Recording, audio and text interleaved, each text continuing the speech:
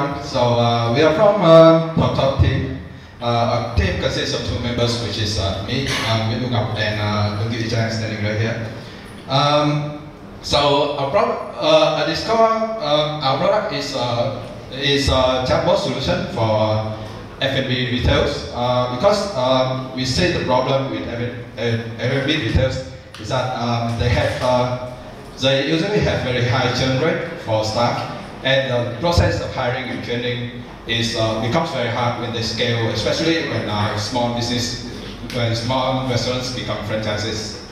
So also um, on in hotels, uh, it will be very nice to have uh, in-room dining service, which is um, uh, which is which will relieve the bottleneck on having to call the reception.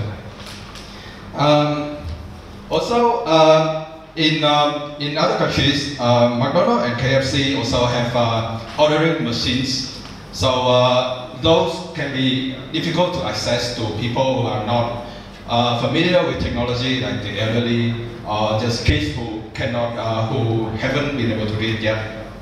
So uh, also there are chatbot platforms, but these usually only have very basic templates for F&B and uh, they do, then these are usually linear conversations and very hard, hard to customize.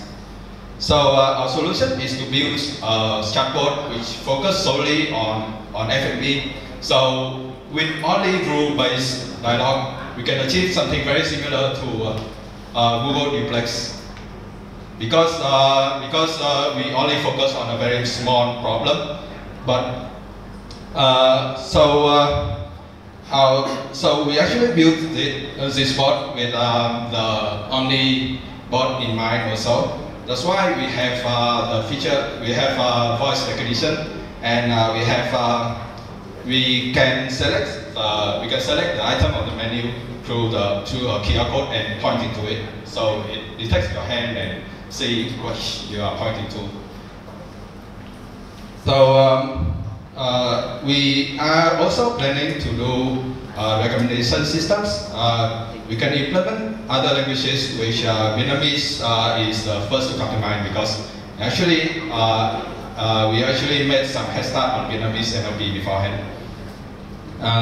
also, because to take advantage of the Omnibot, we should we think that it, we should also try to develop system so we can move to better have a view of the menu if the customer is pointing to it. And also move to the table by a trigger word.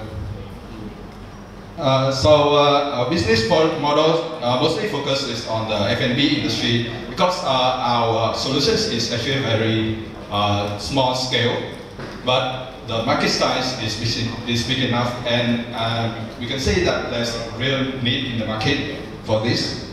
Uh, we have um, competitive advantage with, uh, compared to, uh, to other uh, more general chatbots.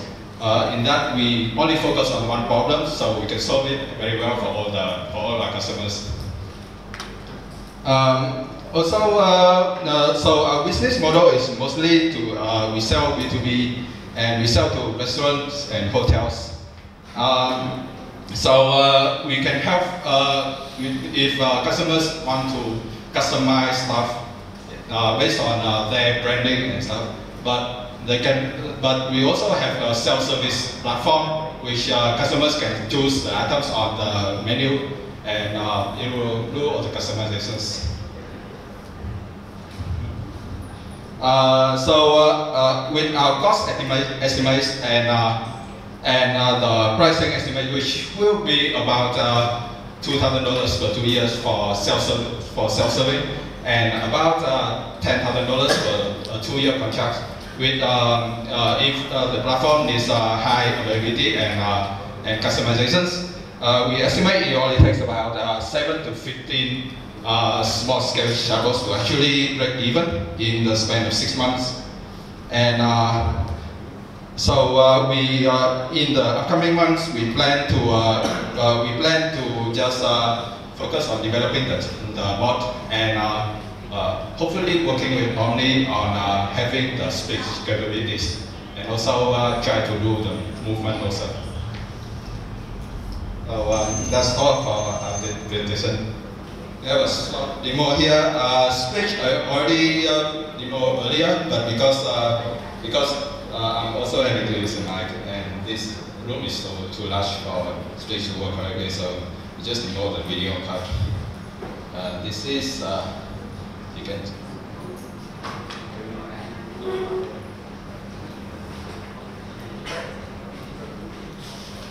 Thing I recognize. Oh. So I point to, to the menu, uh, it also selects on the on the card, right on the right side, and you can say to uh, if I want like coffee, it also ask, uh, ask for black coffee. Um, I can actually change my want to change my salad.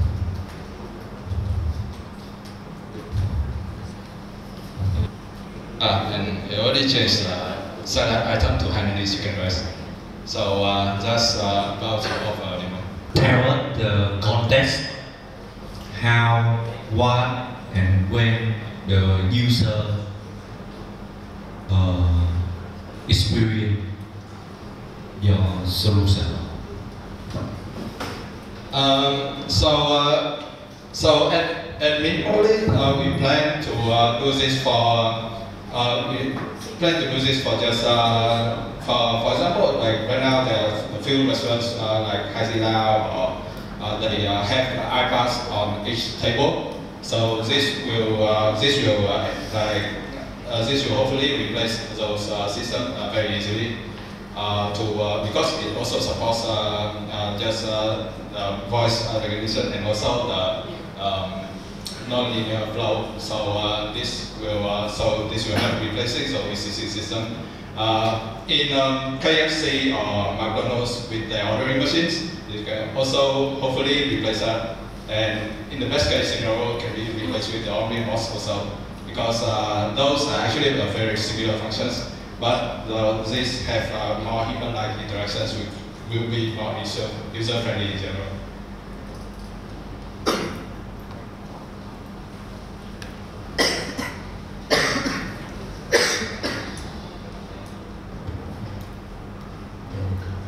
I have a, so first of all, congratulations. I think you have done uh, well for the hackathon.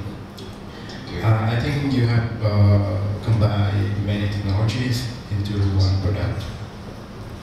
Uh, I just have two questions. First of all, during the hackathon days, what have you done in uh, the demo? Because there are many parts of technologies. So I'd like to know which part you have done during the day, the hackathon. Uh, so for the hackathon, we um, I, I was uh, actually done the board training uh, for the basic flow and uh, like um, and uh, the this chat interface is entire front end interface and also the hand recognition pointing to QR code. That actually takes the most time. I think I took more than half a day on that feature. Uh, well, for the computer, uh, computer vision part, what kind of the models that you are using for hand recognition, system? Uh, for hand recognition, uh, actually uh, at the beginning I tried uh, OpenCV but it's unreliable. So I uh, moved to uh, a library which is uh, handtrack.js. Uh, that actually helps, uh, so that um, recognize the position of the hand. Then I use OpenCV to classify the direction, of, to uh, find out the directions of the, of the edges of the hand. And then based on that, I see where the, where the figure is pointing to, and I see the QR code that user. And uh, about the chatbot, you said that uh, this is a rule-based chatbot, right? Yes, mostly. Uh, it does intent classification and uh, entities recognition. Uh, that's actually we are using uh, wit.ai. Uh, with that, yeah, okay.